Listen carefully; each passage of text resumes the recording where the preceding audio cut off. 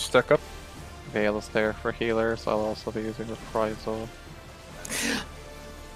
Oh shit. It's okay, we got lots of negation.